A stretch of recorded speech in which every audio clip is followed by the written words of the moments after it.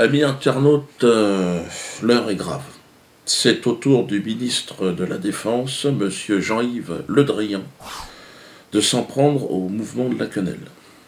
Sur ordre du CRIF, hein, toujours les mêmes inquisiteurs, ce cuistre inconsistant aurait convoqué le chef d'état-major de l'armée de terre pour sanctionner deux euh, de nos valeureux soldats français, coupables d'avoir exécuté alors, une, une quenelle en pleine rue devant une synagogue.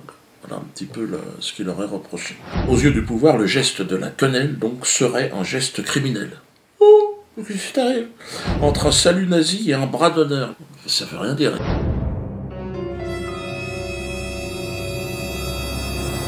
Là aussi, il va y avoir certainement un procès. Mais alors, qu'est-ce que c'est alors la holla? C'est quoi la holla?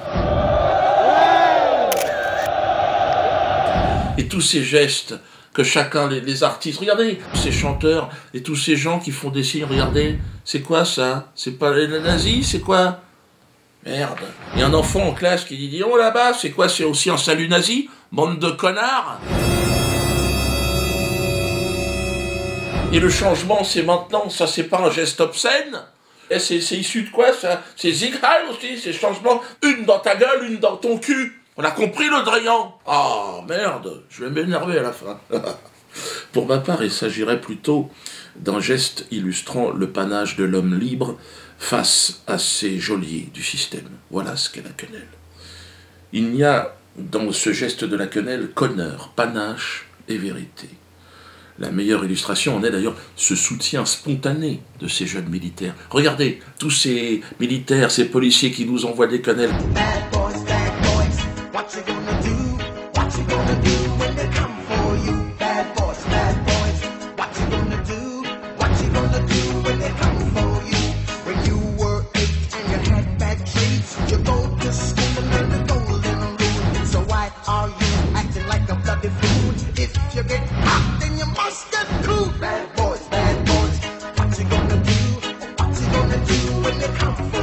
Tout le monde veut, leur apporter le secours, dans la gendarmerie, dans la police. Bien, continuez à nous envoyer des quenelles.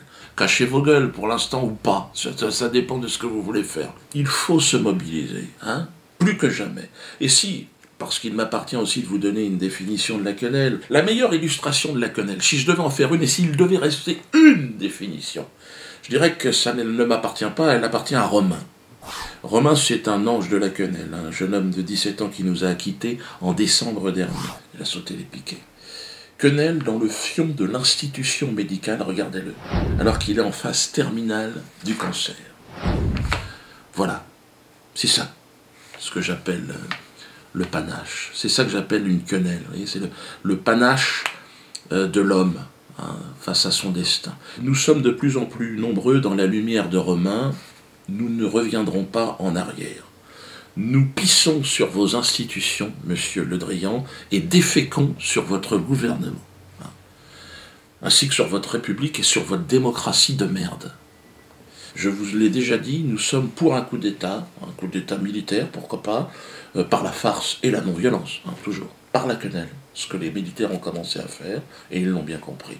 Notre objectif est de vous la foutre dans le cul bien profondément.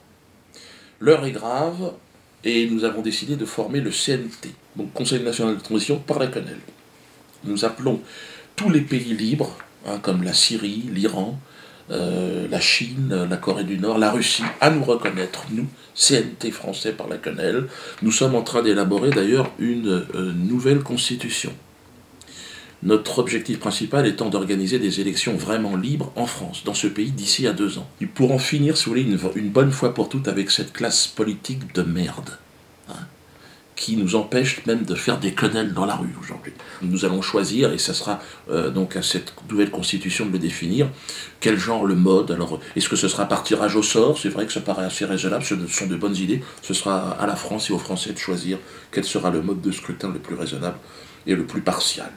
Je terminerai en vous disant que le 19 septembre prochain, à 13h30, à la 12e chambre correctionnelle du TGI de Paris, tribunal de grande instance, nous attaquons, hein, moi et mes co-auteurs, Hein, Germain Gueff, Ilish Ramirez Sanchez, Carlos Stranieri, euh, d'autres, euh, Cindy Leoni, présidente de SOS Racisme.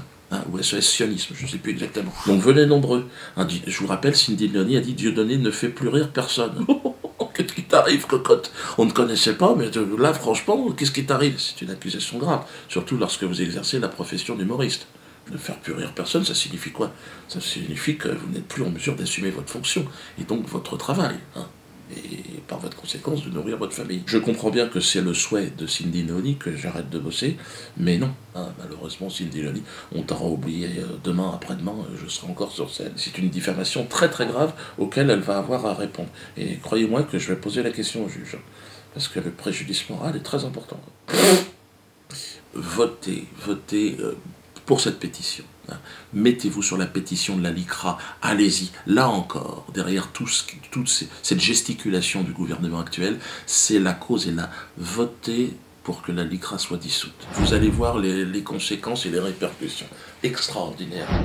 Donc, euh, soutien, soutien aux militaires, soutien à l'armée française, aux policiers, aux gendarmes, soyez avec nous. Connell, Connell dans ton cul, le Drayan, Connell On va bien rigoler, les gars.